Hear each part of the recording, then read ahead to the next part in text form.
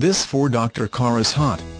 This Jaguar XF gets 16 miles per gallon in the city and gets 25 miles per gallon on the highway.